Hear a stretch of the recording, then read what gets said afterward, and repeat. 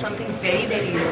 Manish Shaktade, I feel that um, a very, very well maintained, a very, very niche, posh, recyclable, something uh, very, very unique is coming to the market. Nangin Hemant Sadanri it is completely facilitated to the woman of today.